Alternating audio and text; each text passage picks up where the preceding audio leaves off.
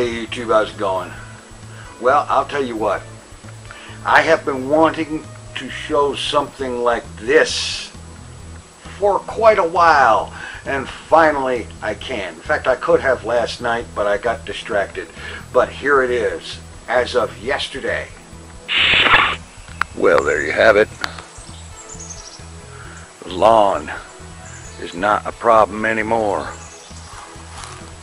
And there's a very clear line of demarcation between my yard and the one next door that gets mowed twice a year. Yeah. Absolutely awesome. That's right. The lawn job is done.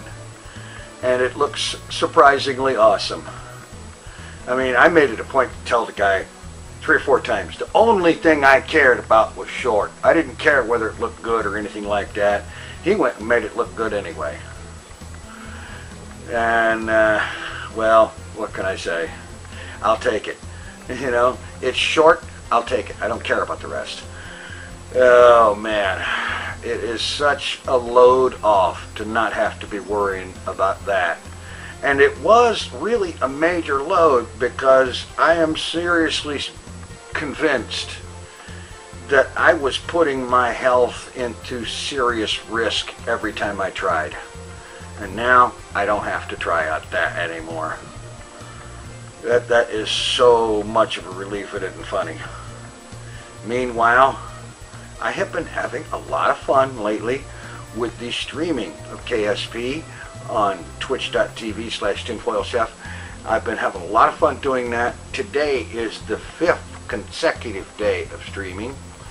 As a matter of fact, I have already streamed for a few hours earlier today. and then I stopped because I had to do some things and do some stuff and so on. And in the doing of those things and stuff, or stuff and things or whatever, I got uh, distracted by the need to take a nap because I got overwhelmed by monsters of tired. And so I took a nap. I've just gotten up. I've got to get a. I need to get a few more things done, and then I am going to go back to streaming again later today. So, twitch.tv slash tinfoilchef. Be there or be a rounded cubic octagonal. Yeah. How about that? Thanks for watching. Take it easy. I'm out of here.